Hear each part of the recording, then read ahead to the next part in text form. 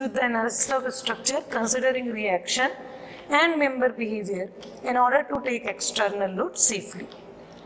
Structure का analysis हम क्यों करते हैं? ताकि हम देख सके कि इसका रिएक्शंस क्या होगा, इसका बिहेवियर क्या होगा। और अल्टीमेटली वो स्ट्रक्चर कहाँ यूज़ होना है? वो स्ट्रक्चरल मेंबर कहाँ यूज़ होना है? किसी स्ट्रक्चर में। जैसे मैं बीम की बात करूँ, ठीक? एक बीम है सिंपली सपोर्टेड एक एंड हिंज है, दूसरा एंड रोलर तो दोनों में रिएक्शन कितना आएगा? रिएक्शन कितना आएगा मतलब कितना वो कैपेसिटी है उसकी लोड लेने की? तो मैं उसको स्ट्रक्चर एनालिसिस में एनालिसिस करूँगी। कौन सा मटेरियल अच्छा है ये मॉस में एनालिसिस करूँगी? और उसके बाद मैं इसको अप्लाई करूँगी डिज़ाइन में। अगर आरसीसी डिज़ाइन कर रहे हैं तो आरसीसी में, और स्ट्रक्चर डिज़ाइन कर रहे हैं तो स्ट्रक्चर में। और इसी कारण से मैंने मॉस को इसके पहले पढ़ाए स्ट्रक्चर एनालिसिस जो है, उसके बेसिक जो आता है, पहले आप मटेरियल के बारे में समझ लें। तो ये बेसिक हम काम कर रहे हैं स्ट्रक्चर के बिहेवियर को समझने। अब आपका बात करते हैं सपोर्ट्स ठीक? फिर डिटर्मिनेसी डिटर्मिनेसी को समझाऊँगा सपोर्ट्स जब हम सपोर्ट्स की बात करते हैं तो हमारे पास दो फ्रेम में सपोर्ट होते हैं। पहला होता है टू डी। या इसको लिख सकते हैं टू डायमेंशनल। या इसको बोल सकते हैं प्लेन स्ट्रक्चर। क्या बोल सकते हैं? Plane structure. ठीक? ये जो बोर्ड है, जब आप इसकी लंबाई और ऊंचाई देख रहे हो तो ये हो गया टू डी। जब आप इसकी गहराई देखोगे थिकनेस देखोगे तो ये किसमें आ जाएगा? थ्री डी में। अगला आता है थ्री डी थ्री डी और थ्री डायमेंशनल, ठीक? और स्पेस स्ट्रक्चर स्पेस स्ट्रक्चर या इसको स्पेशियल भी बोलते हैं स्पेशियल ठीक? स्पेशियल स्ट्रक्चर ठीक? अब मान लो मैं इस कॉपी की बात करूँ तो टू में क्या बोलोगे? मेरे को एक चौड़ाई दिख रहा है, दूसरा ये ये लंबाई दिख रहा है, ठीक?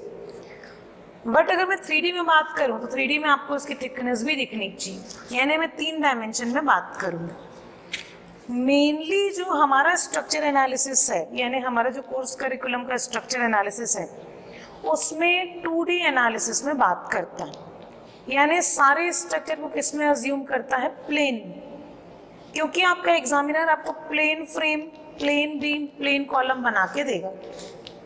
बट प्रैक्टिकली जब आप जाते हैं तो आप थ्री में एनालिसिस करोगे। क्योंकि बिल्डिंग में तो वो थ्री ही लगना है, ठीक? तो पहले हम पढ़ते हैं टू के बारे में, फिर चलेंगे थ्री के बारे में, ठीक? सपोर्ट्स की बात किया टू और थ्री अब इसमें चलते हैं टू डायमेंशनल सपोर्ट्स के बारे में, ठीक? इसमें फ़र्स्ट लेते हैं।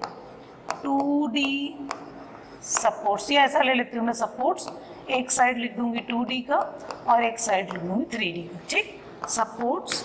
यहाँ पर लिखेंगे रिएक्शंस इन टू डी। ठीक? और यहाँ पर लिखेंगे रिएक्शंस इन थ्री डी। ठीक? ये लिखेंगे सपोर्ट्स सपोर्ट्स उसके बाद क्या हो जाएगा? Reactions in two D reactions in three ठीक? पहला सपोर्ट अब सपोर्ट को बिल्कुल समझते जाना कि क्यों रिएक्शन ये देता है।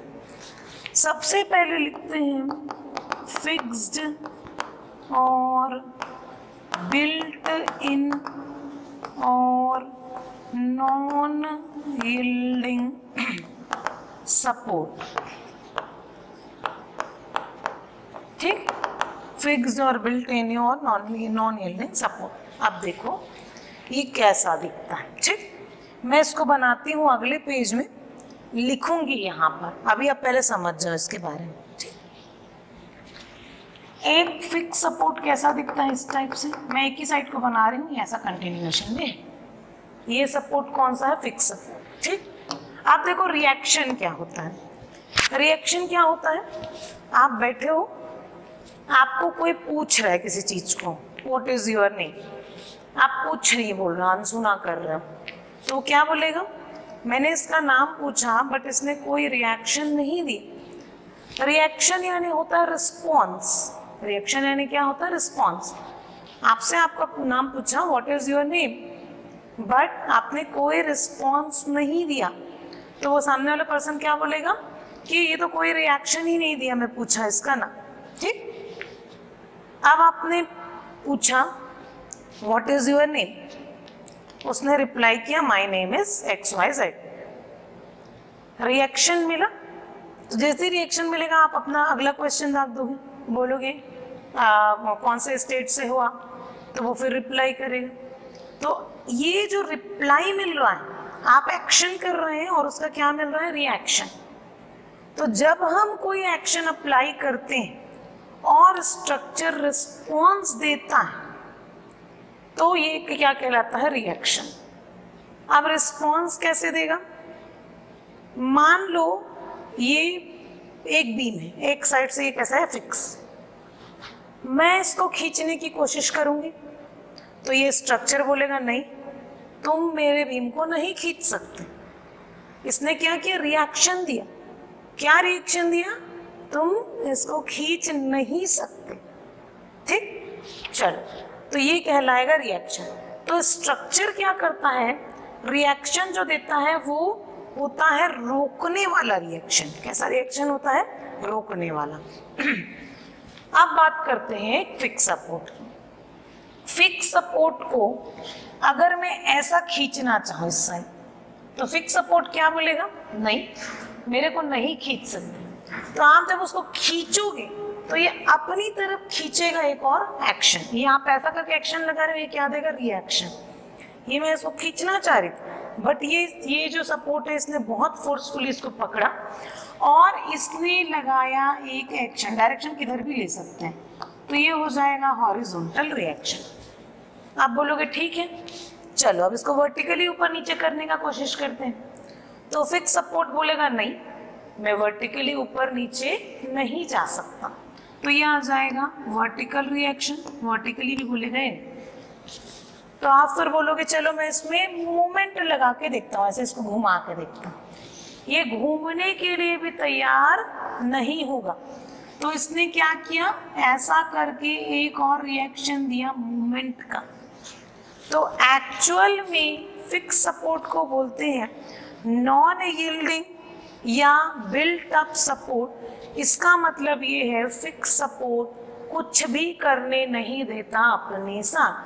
कुछ भी करने यानी आप हॉरिजॉन्टल पुल नहीं कर सकते, आप वर्टिकल डाउन अप नहीं कर सकते, आप इसको मूवमेंट नहीं दे सकते, क्योंकि ये तीनों में रिएक्शन देता है, ठीक?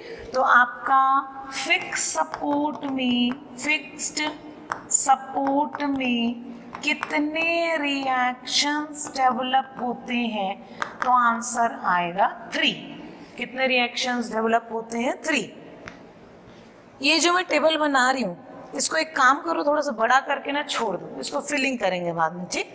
और फ्रेश पेज में इसको बनाओ। इसको फ्रेश पेज में बनाओ। तो फिक्स सपोर्ट में रिएक्शन कितना मिलता है? तीन. पहला है हॉरिजॉन्टल रिएक्शन दूसरा है वर्टिकल रिएक्शन तीसरा है मूवमेंट ठीक? मैं इसमें ए बी सी कुछ नहीं लिख रही हूँ। डायरेक्शन आप अपने हिसाब से कुछ भी ले सकते हो। जैसे मैं अगर इस बोर्ड को धक्का दूँगी तो ये बोर्ड बोलेगा कि नहीं, मैं पीछे नहीं जाऊँगा, क्योंकि मैं फिक्स हूँ। तो ये बोर्ड मेरे तरफ़ क्या करेगा? रिवर्स धक्का देगा। तो मेरा धक्का और इसके धक्के से ये क्या रहेगा? बैलेंस कंडीशन में रहेगा। अब सेकेंड आता है। Hinge support hinge support hinge support को पिन सपोर्ट भी बोलते हैं। ठीक? कौन सा सपोर्ट बोलते हैं? पिन सपोर्ट पिन सपोर्ट का सबसे अच्छा एग्जांपल होता है डोर जो आपका ओपन होने वाला डोर है वो। स्लाइडिंग डोर की बात नहीं कर रही मैं। सिंपल जो खुलने वाला दरवाज़ा है उसकी बात कर ठीक? हम चल रहे हैं हिंज सपोर्ट की तरफ़। ठीक? हिंज सपोर्ट क्या होता है आपका? जो डोर है, वो उसका बेस्ट एग्जांपल है। आप देखते हैं कैसा दिखेगा हिंज सपोर्ट ये ऐसा करके दिखता है, इसको रिप्रेजेंट इस टाइप से करते हैं। ये ऐसा करके, ये बीम है कुछ, ठीक? ये वाला सिंबल कंटिन्यूएशन का होता है, कि आगे ऐसा भी होगा कुछ, ठीक? अब ये हिंद सपोर्ट की बात करूँ, यानी दरवाजे की बात करूँ मैं, आप इमेजिन करो, आपके घर का कोई दरवाज़ा आपको जो दिख रहा होगा, उसको इमेजिन करते दरवाजे को जब आप खींचने की कोशिश करते हो, ये डोर लगा हुआ है, ठीक? ये यहाँ से कब्जे में फिक्स है दीवार में, ठीक? और जब यहाँ पर इसका हुक लगा, ठीक? आप ये दरवाजे को ऐसे खींचने की कोशिश करते हो। दरवाज़ा आगे तरफ़ खिंचाएगा क्या? नहीं। क्योंकि ये स्लाइडिंग डोर नहीं है, ये लीफ डोर है, ठीक? तो ये खिंचाएगा नहीं। क्यों नहीं खिंचाया? क्योंकि जब आप इसको खींचने की कोशिश की हॉरिजॉन्टली तो इसके कब्जे ने पकड़ के रखा और बोला कि मैं हॉरिजॉन्टल रिएक्शन दूँगा। तुम मेरे को हॉरिजॉन्टली खींच नहीं सकते। तो पहला रिएक्शन जो हमको यहाँ पर मिला, ये मिला हॉरिजॉन्टल रिएक्शन आप एरो का डायरेक्शन किधर भी बना सकते हो, ठीक? दूसरा दरवाजे को ऊपर चढ़ के खींचने का कोशिश करना, नहीं खिंचाएगा। क्योंकि पहली बात, आप दरवाजे के हाइट इतना ही ओपनिंग देते हैं किसी दीवार में, ठीक? और ऊपर नीचे को खींचने का इसको वो नहीं देते लिबर्टी नहीं देते। क्यों? क्योंकि ये हिंज है, ठीक? क्योंकि ये हिंज है। ऊपर नीचे खींचने के लिए जाओगे तो ये क्या करेगा? एक वर्टिकल रिएक्शन देगा। हम बात करते हैं। आप ये दरवाजे को मूवमेंट करके मूवमेंट करके देखो।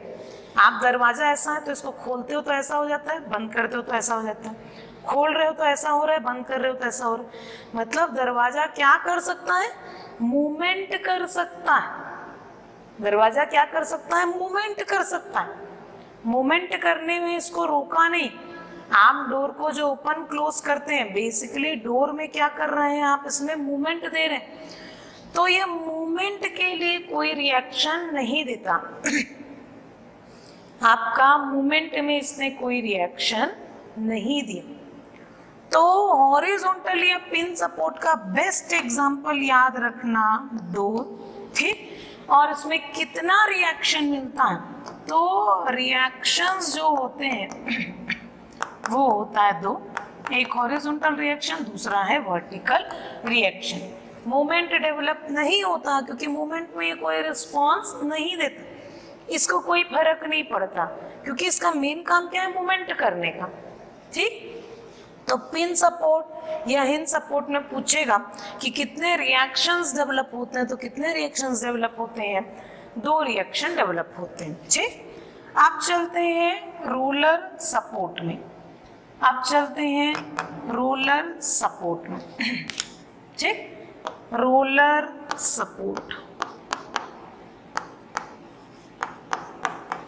रोलर सपोर्ट का सबसे बढ़िया एग्ज़ाम्पल है। आपने ट्रॉली देखा होगा। ट्रॉली या जो फल ठेला वगैरह होता है, वो देखा होगा। वो उसको इमेजिन करना, ठीक? इसका बेस्ट एग्ज़ाम्पल है ट्रॉली ठेला। या फिर जो हाथ वाला हैंड कार्ट होता है, उसको बोलते हैं हाथ ठेला ठीक? या फिर जो जो स्लाइडिंग डोर होता है स्लाइडिंग डोर ठीक? ये इसका एग्ज़ाम्पल है अब देखो स्लाइडिंग डोर हाँ स्लाइडिंग डोर इसका स्लाइडिंग डोर को हटा दो, उसमें ये दोनों से समझो, ठीक? अब देखो, मैं बना रही हूँ उसमें रोलर सपोर्ट ये कैसा बनाया मैंने? पिन बनाया बट नीचे में रोल्स लगा दिए, ठीक? ऐसा भी बनता है? या फिर इसको ऐसा रोल करके इस टाइप से एक सिंगल रोल में भी दिखाया जाता है? दोनों रिप्रेजेंटेशन इज़ करें ठीक? अब क्या होता है? थोड़ा सा इमेजिन करो ट्रॉली कैसा दिखेगा? ठीक? ट्रॉली में क्या होगा? एक ट्रॉली को जब आप हॉरिजॉन्टली धक्का दोगे तो ट्रॉली चला जाएगा। ट्रॉली मना करेगा कि मैं नहीं जाऊँगा करके? मना नहीं करेगा, क्योंकि मेन पर्पस उसका क्या होना है? रोल तो हॉरिजॉन्टली जब आप इसको धक्का दिया तो ये हॉरिजॉन्टल कोई रिस्पॉन्स नहीं देगा। ठीक? अब आप उसको उठाने की कोशिश करो।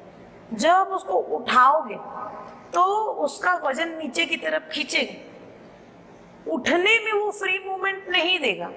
उठाओगे ट्रॉली को ऊपर उठाओगे तो क्या करेगा? रिस्पॉन्स करेगा। बोलेगा, नहीं नहीं, मैं उठाने के लिए नहीं हूँ, मैं ढकेलने के लिए हूँ। तो इसने क्या किया? वर्टिकल रिएक्शन दिया। जब आपने इसको अप करने की कोशिश किया तो इसने क्या किया? वर्टिकल रिएक्शन दिया। ठीक? इसने क्या किया? वर्टिकल रिएक्शन दिया। ठीक? अब ट्रॉली को घुमा सकते हो। बिल्कुल घुमा सकते हो। आपने देखा होगा, फल वाले को कभी वो फ्रंट से चलाता है, कभी पीछे से चलाता है, घुमा भी लेता है। तो हॉरिजॉन्टली वो घूमता भी तो इसमें मोमेंट का भी कोई रिएक्शन नहीं मिलता।